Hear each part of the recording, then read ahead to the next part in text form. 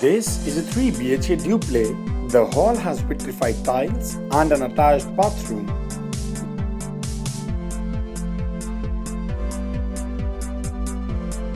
There also is a separate dining area. The kitchen is modular.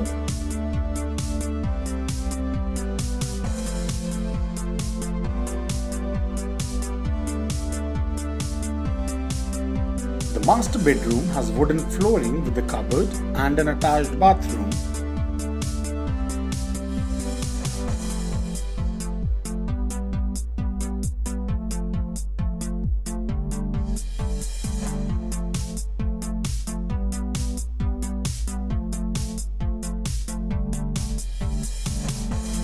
The kids' room has vitrified tiles with a cupboard and shares a common bathroom with the hall.